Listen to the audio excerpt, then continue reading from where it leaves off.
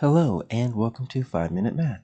Today we are looking at the third grade concept of two digit by one digit multiplication. This is standard 3.4G in the great state of Texas, and we are using item number two of the 2016 released STAAR test. If you have not done so already, please go ahead and take a moment to pause the video, work this problem out on your own, and then unpause it. We will look at our answers together. So we have uh, members of a gym, they use 98 towels every day. And how many towels are used in seven days?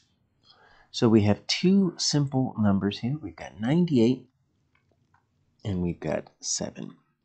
So every single day, so if I wanted to say this box is a day, then they're going to use 98 towels. And assuming they use the same number every single day, well, it looks like I'm going to have seven groups of 98. Now, if I wanted to, I could add those numbers. Repeated addition would work, but that would be that would be kind of long and hard. So let's look at different ways that we can do two digit by one digit multiplication. Now this first one I want to show you works just fine. It might not be the way your parents know how to do it, but your teacher probably showed you how to use partial products. And it gets the correct answer just like the standard algorithm does. What partial products does is we take our 98 and we take our 7. We're going to multiply them vertically. But we're going to take each place value separately. So first we're going to look at this 8 times 7. Now this is a multiplication fact. We've got to know our facts.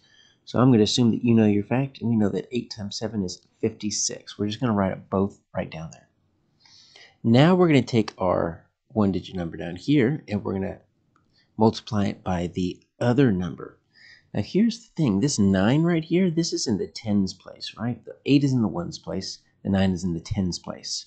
So what I'm going to do is I'm going to go ahead and put a 0 right there in the ones place because when I'm writing down my partial products, I want my answer to start for the second number in the tens place right here because this 9 starts in the tens place. It's really 90, not really 9. But now I'm going to multiply 9 times 7 and that's going to be 63. And so that's why that 0 was very important because that 9 is really 90. So if I did 90 times 7, you would see that it is going to be 630. That's what we needed. And then you just add those up. You get two partial products. You add those up, and you are going to get 686. Now, your parents are probably familiar with what we call the standard algorithm. Standard just means the normal or the traditional way. It's going to be very similar. We're just going to do one thing separate. 98 times 7. So we're going to say 56, but we're going to regroup just like we do with adding. Instead of putting that 5 down in the tens place, we're going to put it up here up above this 5. Now, this is where it gets kind of tricky. You need to multiply these two numbers first. We don't have to worry about a 0 now because there's already a 6 in the ones place. So our answer, 63, is already going to start in the tens place. So that's good. But we multiply first, but then we have to add that 5 back in, these 5 tens that came from the 56. So it's going to be 63 is what 9 times 7 is. Then we got to add that 5 back in, and eventually you can kind of do it mentally.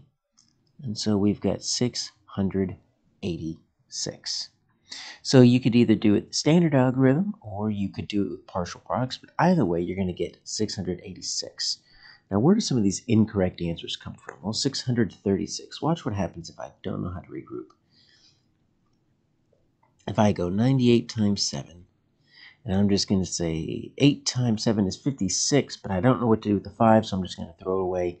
9 times 7 is 63. That's how we get 636. To get 14, we have to take our 98 and we have to divide it by 7. And that's actually going to get you 14. And that's how we get our 91. We take our 98, but rather than dividing, we just subtract and we get our 91. So you can subtract, you can divide, you can multiply, you can get incorrect answers, but our answer is going to be H686.